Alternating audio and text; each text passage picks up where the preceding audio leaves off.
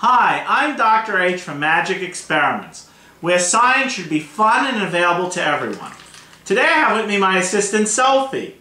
Sophie and I are going to do an experiment with cranberry juice. Okay? What a lot of people don't realize is cranberry juice actually can be used as a natural indicator.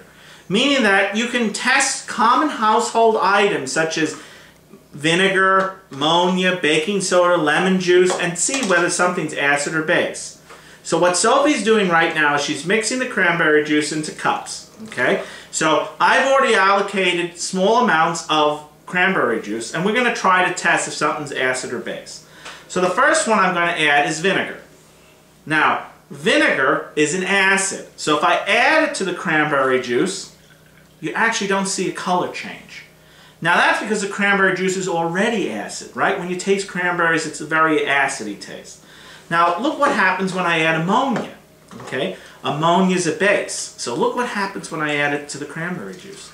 It changes color. It actually goes to this greenish purplish color. Now, if I add some liquid Drano, which is a base, and I add that to the cranberry juice, look what happens here. It actually becomes like a tannish color, a reddish tan. So why don't you take some household items at home and check it out and see what you can do. Or if you're more interested and want to check out some other experiments, why don't you check us out at magicexperiments.com.